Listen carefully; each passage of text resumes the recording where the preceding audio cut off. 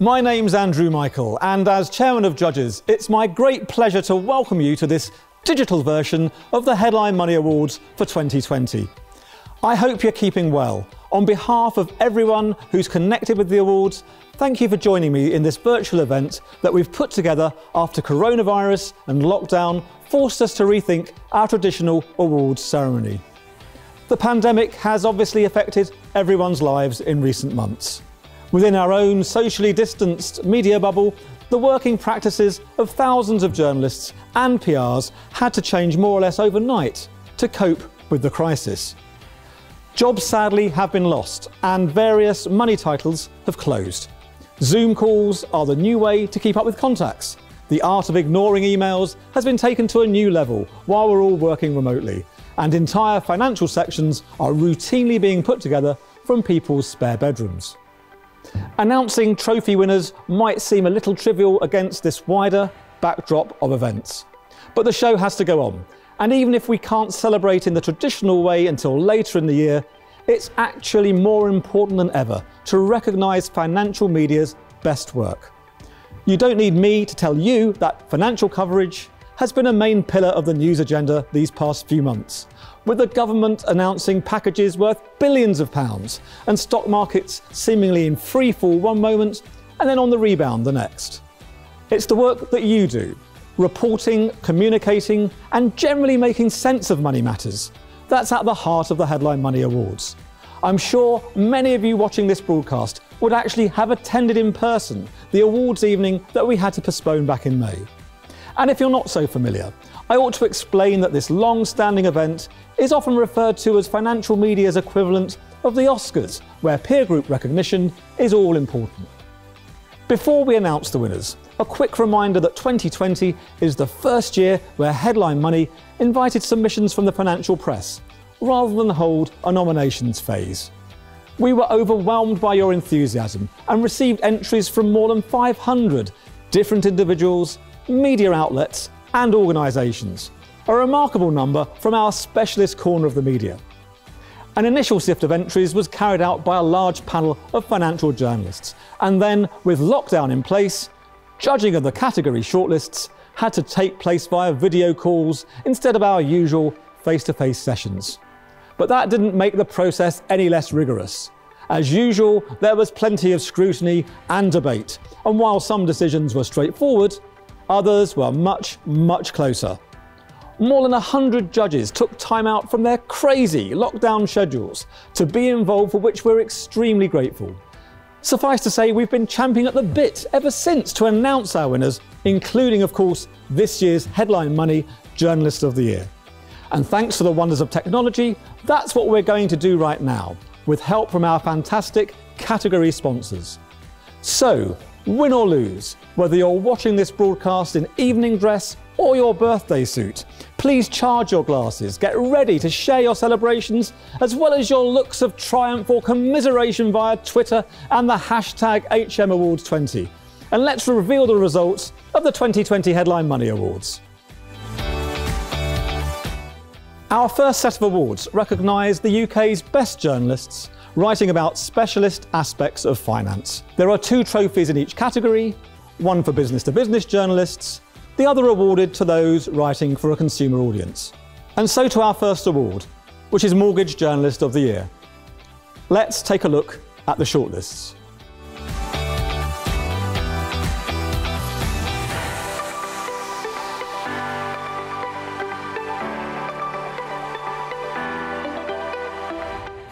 Okay, I'm delighted to reveal that our B2B winner is, drumroll please, Owen Sanderson from Euromoney Global Capital, who, according to the judges, demonstrated some seriously impressive industry knowledge.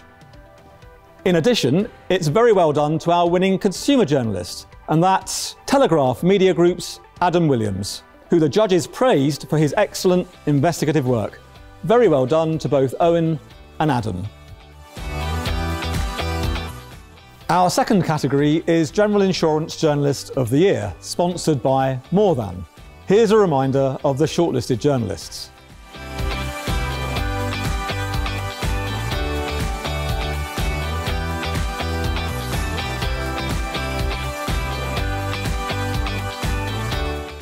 It's now my pleasure to hand over to More Than's Managing Director, Kay Martin, to reveal both our category winners. Thanks, Andrew. I'm delighted to present the award for the General Insurance Journalist of the Year. In the B2B category, the award goes to Jen Frost, whose name really stood out for the journalist for her outstanding entries of well researched and well backed up scoops. So, congratulations, Jen. The consumer winner category submitted a really strong set of exclusives, which the judge said were bang on point for the audience. Well done, Sam Barker. Congratulations to you both.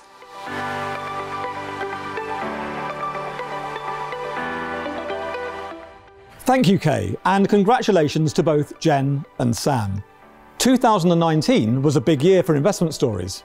So, who's going to come out on top as we now turn to the Investment Journalist of the Year category, supported by Schroders? Here are the contenders.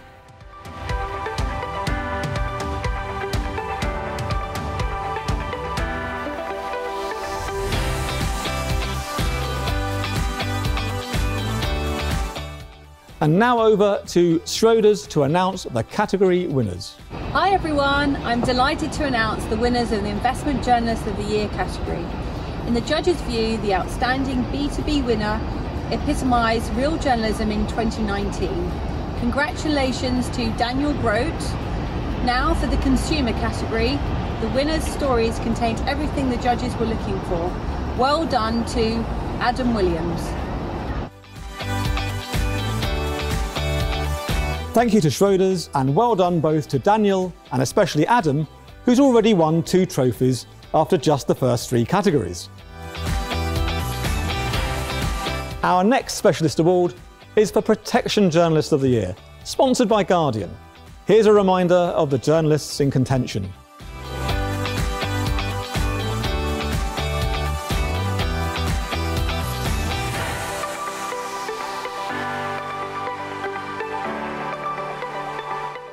And now I'll hand over to Guardian to reveal those all important results. Thank you, Andrew, and hi to everyone watching.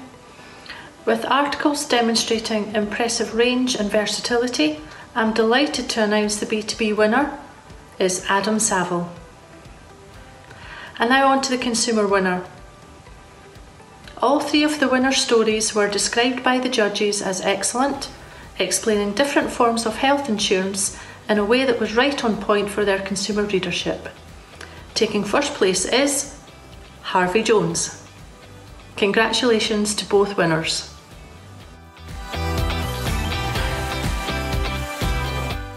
Thank you to Guardian, and many congratulations to both Adam and Harvey. Moving on now, we turn to Pensions Journalist of the Year, sponsored by Scottish Widows. Here's a reminder of both the shortlists.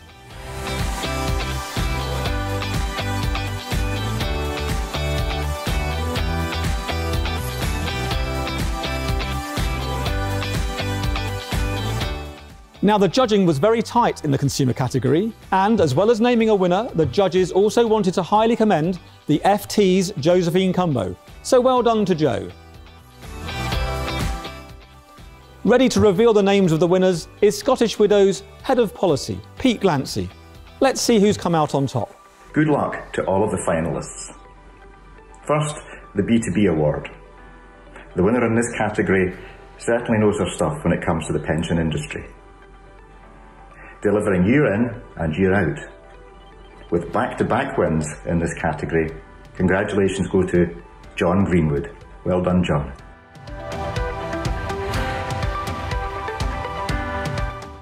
And now for the Consumer Award. The winner's submission delivered a real wow factor in what was a quality field. Congratulations to the winner in this category, Ben Wilkinson. Well done, Ben.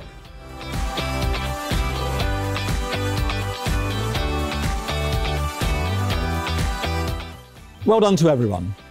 Next up, it's time to reveal our Savings Journalist of the Year, sponsored by RCI Bank.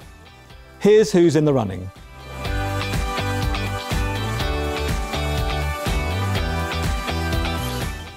And over now to RCI Bank for the big reveal. Greetings, everyone. The judges have described the submissions of the winner as timely and informative, covering an array of financial circumstances. The Savings Journalist Award of the Year goes to Kalpana Fitzpatrick. Congratulations, Kalpana.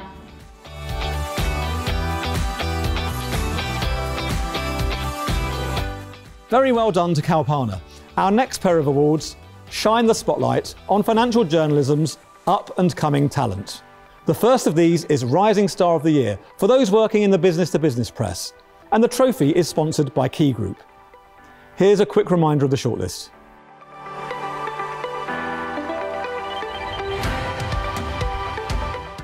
Standing by to reveal the result is Key Group CEO Will Hale. Thank you, Andrew. The winner of Rising Star of the Year for B2B titles is a reporter who not only seeks out stories as you'd expect them to, but clearly wants to serve their audience by asking the really difficult questions. So it's a very well done to Imogen Tew.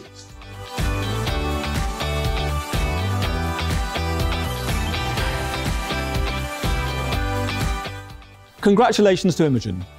Our attention now turns to the Rising Star of the Year in the consumer category, and this trophy is sponsored by Yolt. Here are our six shortlisted contenders.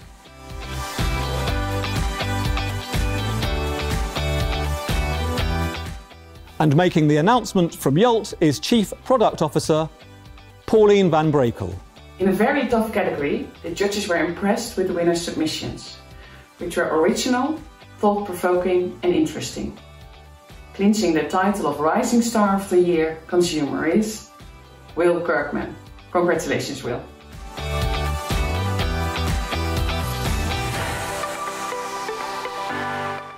Thank you, Pauline, and well done to Will in what was another really close fought category. Have you recharged your glasses yet? It's time for a slight departure now, with the focus moving to PRs and those working on the communication side of financial media. Each of the following winners was decided by an extensive vote amongst the financial journalist community as conducted through the Headline Money website earlier in the year. Our first award is always a competitive category, namely Thought Leadership Initiative of the Year. Here's a reminder of the shortlisted press campaigns along with the organisations responsible for them.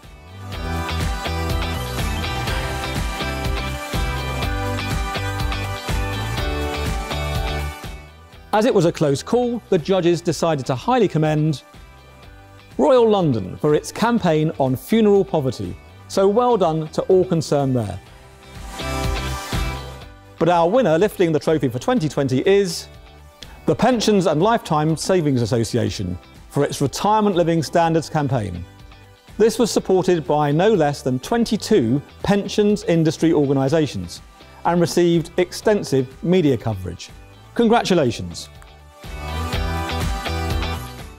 Next, we reveal our Expert of the Year. Who did financial journalists decide was the best go to individual for insights, analysis, and comment over the past 12 months? Once again, it's a strong shortlist.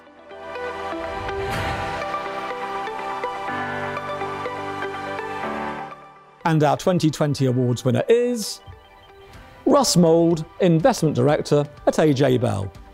Well done to Russ. When it comes to stock market comment, he's a very familiar name both in print and across the airwaves. We now turn to the Rising Star PR Professional of the Year. And here are the names in the running.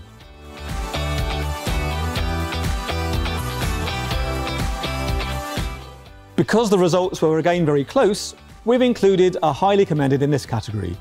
And that goes to Sandy Downs of Team Spirit. Well done to Sandy. As for the winner, just pipping her at the post, it's a case of hearty congratulations to Interactive Investors personal finance campaigner Myron Jobson. Myron was responsible last year for various PR campaigns, including the Great British Retirement Survey. Our next category recognises the PR Professional of the Year. Let's see who made it onto this prestigious shortlist.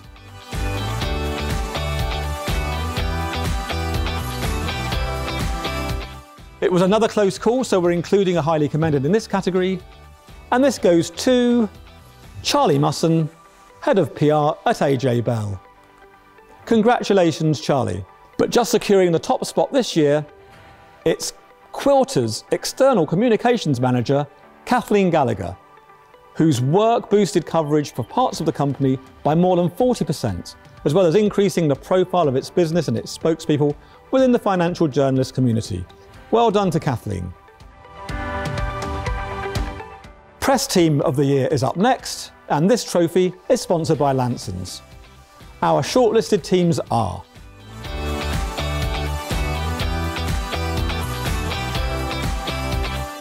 Who will get the bragging rights as financial media's best press office? It's my pleasure to hand over to Lansons to reveal the winner.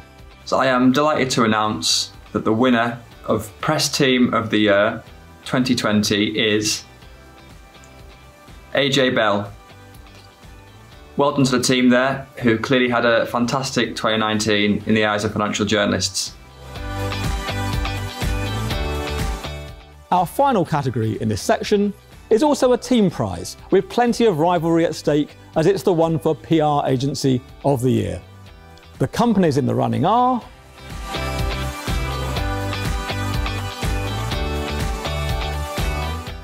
And drumroll please, our winner is. Team Spirit. Congratulations to this specialist financial services PR agency whose distinct approach to business won plaudits from many financial journalists and helped it to land this coveted trophy for the first time. Another change of focus now as we turn to our Outstanding Achievement Award. This trophy recognises an individual who has made an exceptional contribution to financial services media. This year, the award is sponsored by Schroders Personal Wealth. Let's hear from Senior PR Manager Charlotte Banks, who will reveal the winner. Thank you, Angie. The Outstanding Achievement Award goes to someone whose initiatives over the last 12 months have helped shine a spotlight on the increasingly important issue of mental health in financial services workplaces. From his contributions via blog entries and podcasts, and even taking a discussion about mental health issues on the road and encouraging those in the industry to share their experiences, we're delighted to recognise new model advisors Ollie Smith for his services to this extremely important subject. Congratulations, Ollie.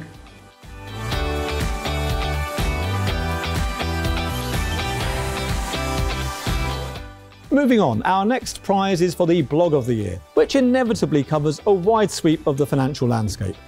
The blogs in the running for 2020 are.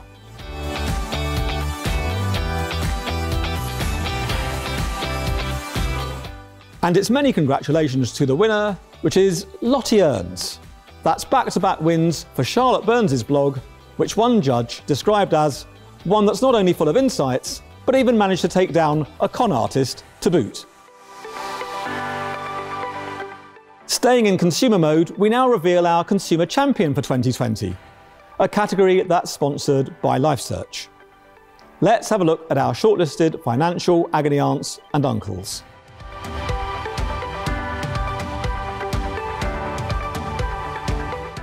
And standing by, we have LifeSearch CEO Tom Baigrie, ready to reveal the winner.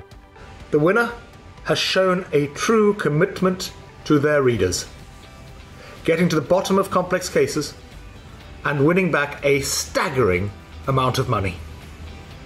An impressive debut year in the role. Congratulations to Katie Morley!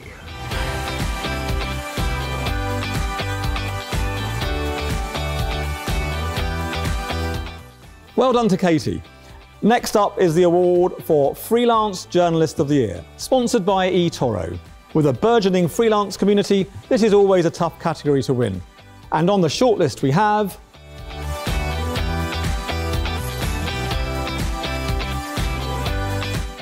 And here to reveal the winner is eToro's global PR manager, Katie Evans. Many thanks, Andrew. The winner was described by the judges as a really good all rounder with a super writing style. So the Freelance Journalist of the Year title goes to Laura Whateley.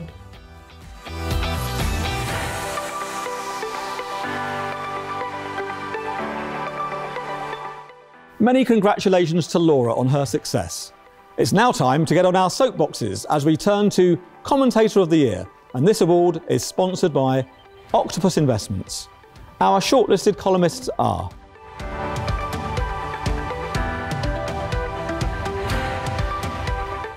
The winner was commended for their bold approach and powerful writing. Taking the top spot for 2020 is James Coney.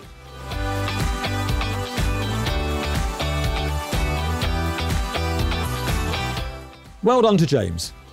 Our next trio of awards recognise the best financial stories from the last year. The first category highlights the personal finance story of the year. There were a record number of entries in this category, and here are the ones that made it to the shortlist.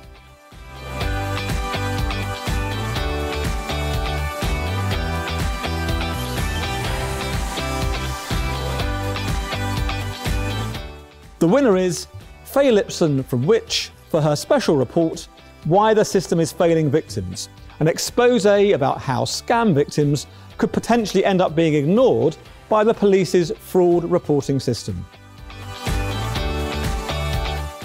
The next category is B2B Story of the Year, for the best report written for a professional audience. Here's the shortlist.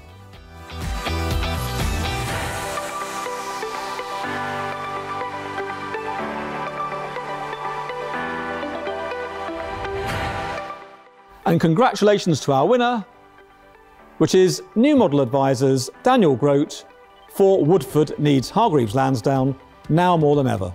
A report that one of the judges described as, quote, astonishing, concerning the big investment story of last year. Finally, our third award in this section is for Business Story of the Year, and this trophy is sponsored by Rostrum. Our shortlisted stories are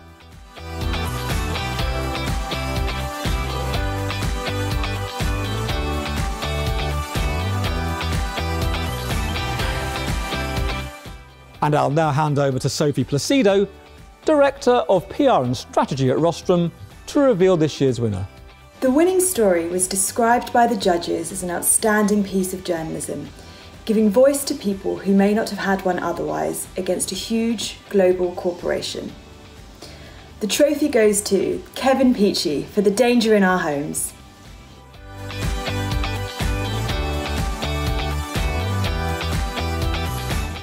Well done to Kevin.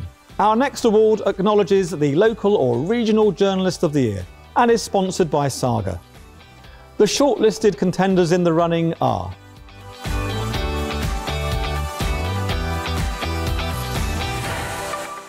It's my pleasure to ask Saga to reveal the winner. Thank you, Andrew. The judges applauded the winner for their solid, news driven coverage, which was also packed full of local commitment. Congratulations go to Robin Johnson. Very well done, Robin.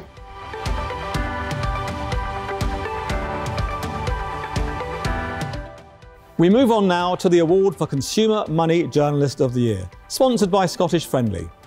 This is always a competitive category. Let's remind ourselves of the shortlist.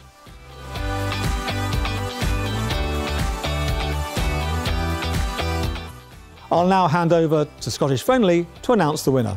A clear frontrunner in this category, the winner was praised for going above and beyond the call of duty. The Consumer Money Journalist of the Year is Katie Morley.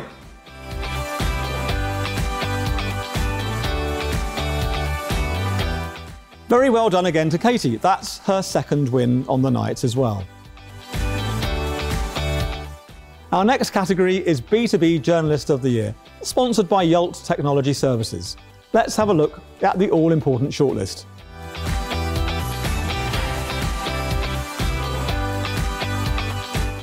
And I'll now ask Chief Business Officer at Yolt Technology Services, Leon Muis, to reveal who's come out on top. Described as a leader in their field all last year, the winners reporting on Woodford broke new ground. I'm delighted to announce that the winner of B2B Journalist of the Year is Daniel Grote. Congratulations, Daniel.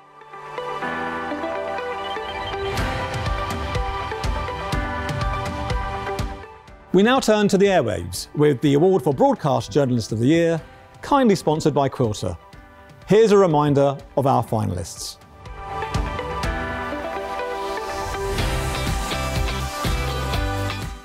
And it's my pleasure to ask Quilter to announce the result. The winner of Broadcast Journalist of the Year was praised by the judges for their clear presenting style, coupled with authority and knowledge. And the winner is Felicity Hannah.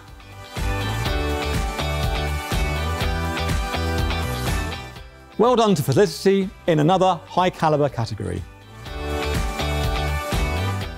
As we head to the awards climax, there are just two trophies to go before we reveal our Journalist of the Year. So now's the time to recharge your glasses if you haven't done so already, which you probably have, several times. All done? Good. Now let's find out who's won our B2B title of the Year award. The titles in the running are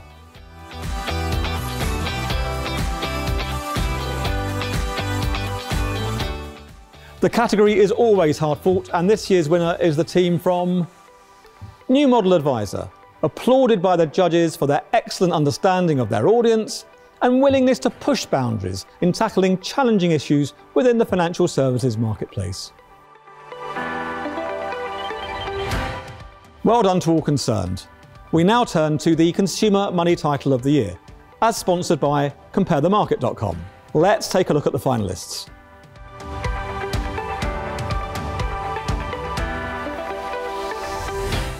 To reveal the winner, it's my pleasure to ask CompareTheMarket.com's Director of Money and Mortgages, Mark Gordon, to do the honours. The winning title this year is The Full Package.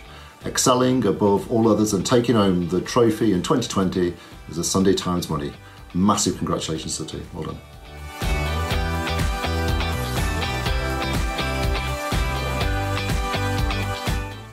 Congratulations to James and his team and indeed everyone else who's landed a trophy already. But now's the moment you've all been waiting for as we reveal the 2020 Headline Money Journalist of the Year, which I'm delighted to say is sponsored by Open Money. Let's hand over to Anthony Morrow, co founder and CEO of Open Money, to discover who's won. The Headline Money Journalist of the Year is awarded to the journalist who has done something just that little bit extra to stand out from all the other superb category winners. This year has seen some exceptional performances, and all the candidates should be very proud of their achievements in this year, although there can only be one winner. This year's winner, her column hit the ground running last spring and has been generating fantastic results for her readers ever since. The winner is, of course, The Telegraph's Katie Morley. Well done, Katie.